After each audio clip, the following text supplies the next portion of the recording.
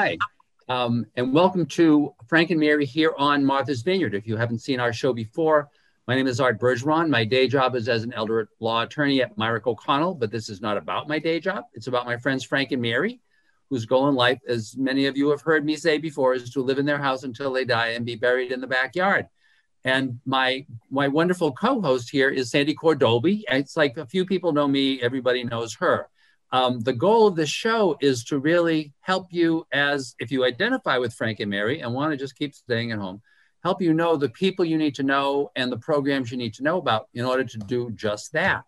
We've got a great guest today who has been on, was on, I think, a couple of years ago, but is back and is and is really, I think, just a boatload of information about these, you know, life in at, a, at the the Edgartown Council on Aging in these difficult times. Sandy, whom do we have today? And thank you, by the way, Sandy, for being here, right?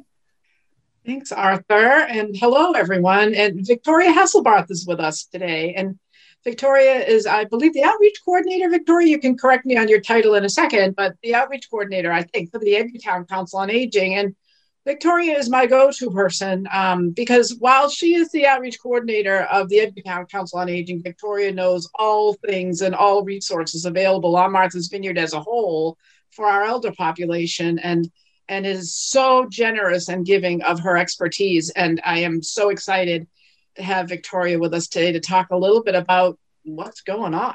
Hi, Victoria. Hi, Sandy. Hi, Art. It's so good to be with you and to see you again.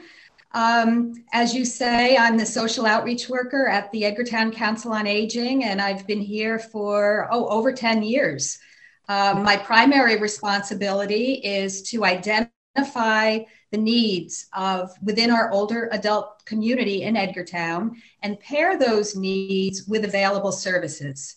And often uh, I make referrals to you, Sandy, and your team at Horizons and uh, everyone speaks very highly of the work that you do and art you as well um, when people are considering uh, advanced care planning and estate planning i often make a rever- referral to your law firm so we're all very interconnected and working collaboratively which is one of the beauties of living on the vineyard um, that is, so that I mean, is definitely the case. One of the yeah. beauties of living on the vineyard. That's right. It takes a village, and here we are. So, getting back to uh, your question about how we serve the needs of the community at the Council on Aging, um, frequently I will get phone calls from individuals who might be struggling with a health issue. They may have had their hip replaced, they may be just getting older and feeling very frail and vulnerable and unable to, say, clean their home or prepare a meal. They might need help with bathing and grooming. And at that point, I would introduce them to you, Sandy, and what you offer through Horizons, or uh, especially if they're lower income and just living on Social Security, I will sometimes make a referral to Elder Services of the Cape and Islands, who can also provide that type of service. And um, no day is alike. Every time I step into my office, uh, I never know who will call with what problem and sometimes it's it's uh, there are difficult to solve dilemmas that we face mm-hmm. and i'm especially right now yes mm. and, and, and the last time i saw you victoria you were actually delivering i think a meal to a family out in katama right and you, and you told yes. me that you know a part of one of the many things that you were doing was just trying to do that just getting getting to a whole lot of folks and doing kind of the very I want to say hands-on outreach, you know, because because as you know, your folks are our folks, and they're all trapped. You know, they're all kind of stuck at home, right? Mm-hmm. Kind of well, talk I, about how how that is going, and if that is continuing to happen. Yeah, I think all human service agencies have faced enormous shifts and challenges as a result of the pandemic. Many of us had these working models in place on how we administer services and we've had to reevaluate and change almost every single one of them. Um, one example as you mentioned art is that pre-pandemic our council on aging otherwise known as the anchors used to serve in-house meals twice a week to the community And we would have about 60 people coming in, enjoying a meal, often enjoying a program. Sometimes they would wander into my office if they were in need of, of a referral or some type of service. And we had a, a nice rhythm about it and a predictability. And then the pandemic hit, and we had to shut our doors and scratch our heads for a bit and figure out okay, well, how are we going to feed these individuals who've come to rely upon our service? And more importantly, those who don't want to venture into the grocery store or the pharmacy, how are we going to kept, keep them fed every week for the duration of this until the vaccine is available. So we began making meals of about oh, 250, I'd say, per week. Wow. And wow. using a group of dedicated volunteers, getting those meals out there to families. So seniors will be able to call in and request the number of meals they want. Some people request five meals for the week, others request seven and then our volunteers deliver deliver them. But as you can imagine this is um, tremendously taxing on our human resources. So uh, you know those first few months we were all scrambling and now we've gotten into a rhythm but um, we still use uh, more resources than pre-pandemic and by the way, just as a follow up, it's obviously taxing on your human resources. I would think it's taxing on your financial resources too. If you're delivering that many meals. Was that part of the the Council on Aging budget, or you know, how, how are you? How have you managed all of that? That's a lot. Well, very creatively and through multiple sources. So uh, we ask for a donation for those people who can contribute of $2 per meal. And many people contribute, others don't, especially those living just on their Social Security incomes. Um, we have a very generous friends organization who does fundraising for us throughout the year. We also took advantage of some community wide grants, uh, permanent endowment, Martha's Vineyard Savings Bank, uh, the cottagers in Oak Bluffs, and others who were very generous with their, their assets in allowing this program to continue what an amazing gift to the community. That is so wonderful to hear. And I've been, I have some clients that have been beneficiaries of that program and the soup program. And and I don't know what they would have done without it. Thank you. So, Sandy, you want to ask about about we were talking before about the vac not not an unusual topic, the vaccine, and and kind of from you know what how folks are kind of dealing with that. Sandy. Yeah. So Victoria, what are the I'm sure that, like all of us, you're getting inundated with folks that are asking questions about, you know, we see all the stuff on the news about, you know, it's it we're coming up on February 1st and of the elders being able to be up next and and what kind of questions are you getting and, and how are you turfing those questions? Well, people are very anxious. So, you know, as you know, one of our um, primary concerns is about social isolation. So many of our clients have been in their homes since March, rarely venturing out. And we know that social isolation is a determinant of long term health. Um, studies have proven that. And the, those who are most isolated are um, some of them becoming a bit depressed and calling us on a regular basis, asking when this vaccine is going to be available to them so that they can begin returning to their routines. Um, and because we have about as much information as, as any other agency on the island. Uh, we get our information from the hospital, uh, who, who is uh, post regularly about the status of the vaccines. Um, island Healthcare also has a very good uh, link toward uh, pandemic data and the, the, the numbers um, but but we don't know how this is going to roll out. Um, uh, I do know I have uh, seniors who are in line for a vaccine, uh, some who will be receiving it this week. Um, but um, and I do know the governor uh, created a um, you know a mandate that if you're over 75 as of February 1st, that vaccine will be available. So we're just going to have to stay tuned.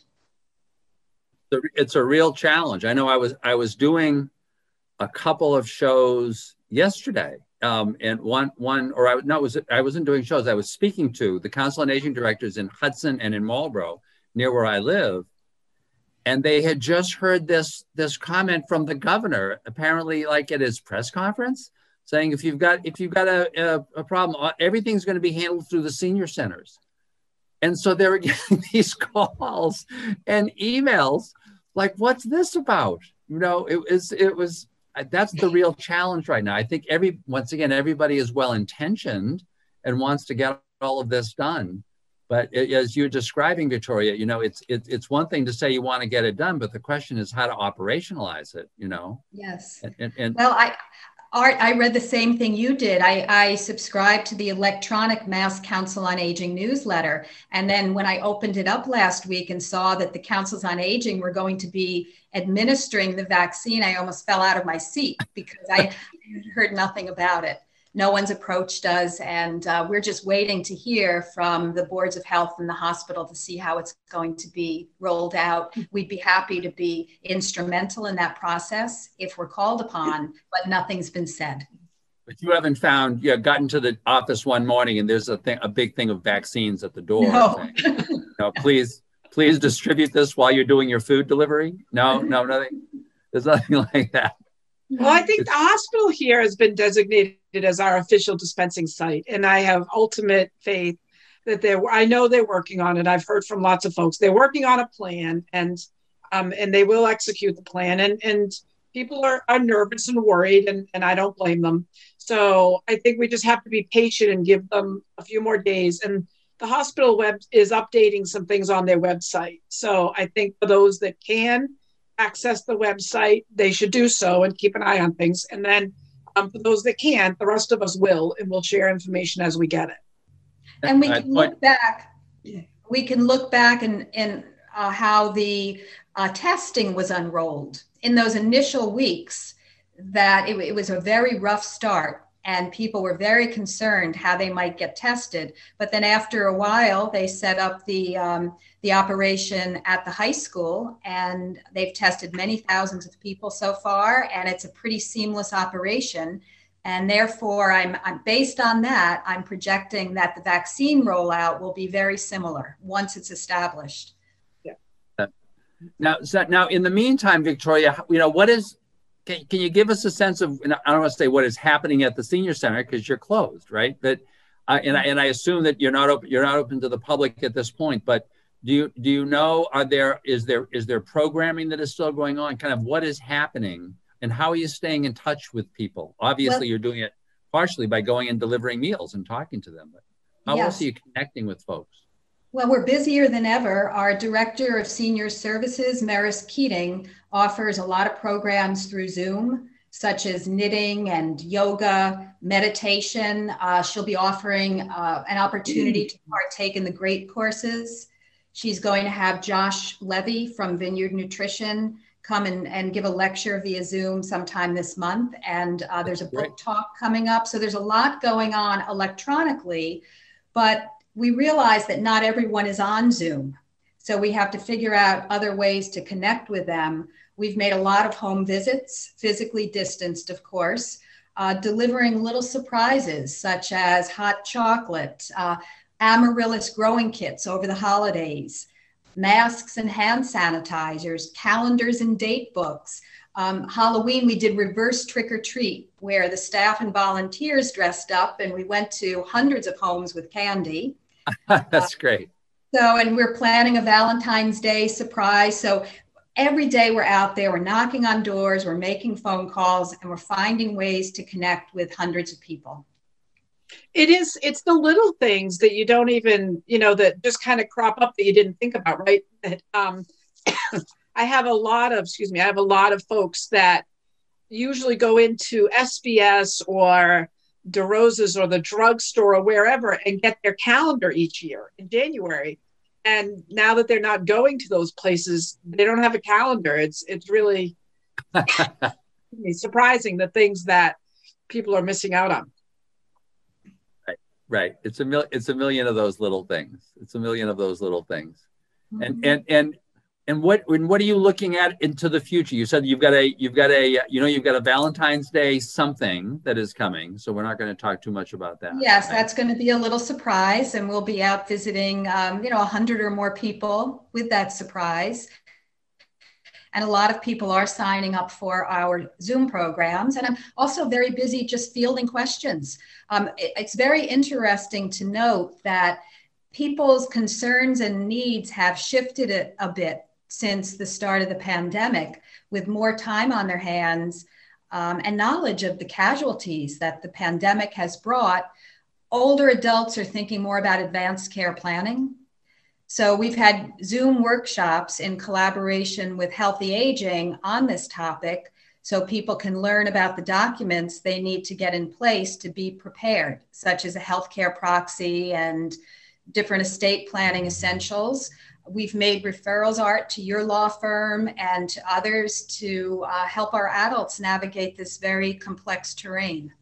Yeah, I know that Sandy, interestingly, before COVID had started, Sandy and I had spent a lot of time talking about how we could be more supportive of the whole conversations project that had been that that that that Patty Moore and others have been really kind of advancing here to get fo- folks focused on that because I but I think that no the pandemic has so clarified the need for those documents, you know, because you just don't know when you're going to find yourself in a position where you can't sign documents because you're in a building where nobody can get in, you know, yeah. and where you really need to have somebody who is on the outside who can handle things for you. But if if you haven't set that up, you're you're just stuck, you know. You just you're and so I, I I'm I'm really hoping that as a result of all of this, as people have more ability to kind of uh, to outreach, they'll be focusing more on that, just to make sure that that as time goes on, everybody has those things.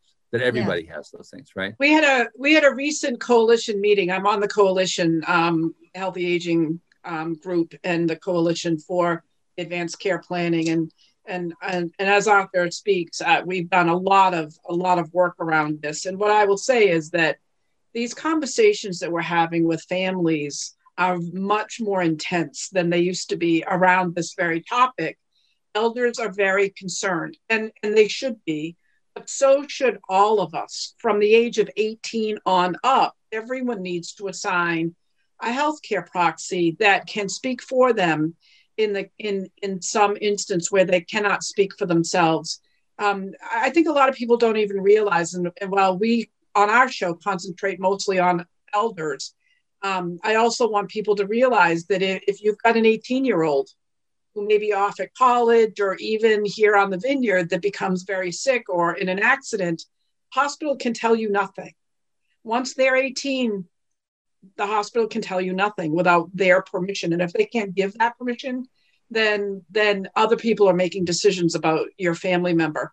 But when the where the elders are concerned, people are very much aware now that what if this, what if, what if, what if this happened to me, um, or a loved one, and who would know? Do I want to be put on a ventilator? Don't I want to be put on a ventilator? What does that mean to be put on a ventilator?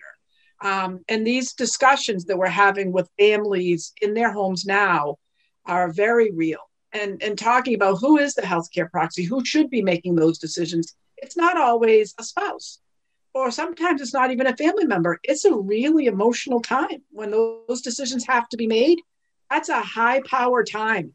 And, and the hospital just needs to know who did you have a conversation with about what you would want at a time like this. And um, so I would encourage anybody that hasn't had those conversations or wants to hear more about it to contact any one of the three of us and we will make sure that you have our numbers. They'll be put up on the screen, and um, and that you know you can contact any one of us, and we will help make sure that you get the information that you need to be sure that you you have your documents in order. I, I know. I just I just watched this. Of course, I see this play out all the time, but I really watched it kind of close hand because one of my sisters died last week, and oh. uh, you know, fairly suddenly two weeks before everything's fine. She, but she was older. She's 86. She's my oldest sister. The one that used to, the one that you, who used to wheel me around downtown, and people would say this was in the 50s and say, "Oh, is that yours? Oh, he looks so much like you." She just loved this stuff. She went, you know, she ended up she had a family of seven, right? A lot of girls, so there were a lot of girls around, but she she she, you know, it, it was very healthy. Um, her husband died a few years ago. He had dementia. She worked with him, you know, and then suddenly there was a, you know, an issue oh, having trouble breathing. They went to the hospital or to the doctors. Oh, there's a spot on your lung. You know, and, and, and but she was very clear. Fortunately, she was clear. You know, I don't want to be in the hospital. I want to be at home. You know, like Frank and Mary, she wanted to die at home, which she did. You know, with her daughters around and with some care folks that were able to help out. But that you know, in that situation, she had the ability to be saying those things but I always say to people, you know, when you're thinking about a healthcare policy, think about how you want to be treated in those situations. And then think how bad it would be if you didn't have the ability to say anything and you were just watching yourself being treated, you know, in a way that you didn't like, you know, because you didn't have the proxy and you hadn't talked with anybody. So it's like, you know, you see those things, you just see them play out. They're just, they're very difficult. So Victoria, just kind of to, to, clo- to close, can you, can you give folks just some basic information if they wanted to reach out to you? How do they you know how do they get in touch with the council on aging? You know is, it, is there an email address? Is there a phone number? Who should they talk to? When they call is somebody really there? You're there right now i know. i am yes. Well we're working mostly remotely. Generally there's one of us here during the day. We're a staff of six and there's often someone to answer the phone but someone can give us a ring and leave a message at 508 627 4368. We check the messages regularly and we'll call that person back within 24 hours. Terrific. And is, and is there an email? If, if they were trying to email you, is there one email they should use? Uh, there is. It is, um, Ed, bear with me for just a moment, Art. I should know it off the top of my head. By your head. it's um, well, they could email me and maybe you can uh, put it across the screen. Yeah, prior to- uh, we're, we're going to ask our folks at MVTV to do that. We really appreciate their willingness to film these shows. Thank you. Yes, and may I may I um, just add one thing in conclusion um, on a on a positive note because I think you know amidst all the sadness that's going on and the struggles that we have with the pandemic, I think it's important to stay optimistic. And I one thing that I've noticed is that the majority of our clients are supporting one another. Uh, my colleague Maris Keating said that she feels they're doing so uh, in an outstanding and in an astonishing way. Uh, we had tried to create a phone tree to keep people connected early on, and then we realized that they're doing it already independently. So COAs are a catalyst. Uh, they create a space for older adults to meet and to build relationships. And those relationships have been widely inclusive and well maintained. And I think that, um, you know, from our microcosm here on the vineyard, the pandemic uh, has brought out the best in, in human nature. And it's made me realize for the first time that the COAs are a hub that foster networks of support uh, many of our older adults have lived through a lot wars, famines, global health crises, and most of them are well prepared and have the tools to rise to the challenge. A lot of them have, you know, and, and as you say, that's been a real sense of bonding. Although I'm not, I'm still not sure if if if if if Martha's Vineyard is the microcosm or is truly unique because of the level of cohesiveness of the community. There's just something about being on that island. As you know, as you say, you know, people come for the beaches, but they stay for the people.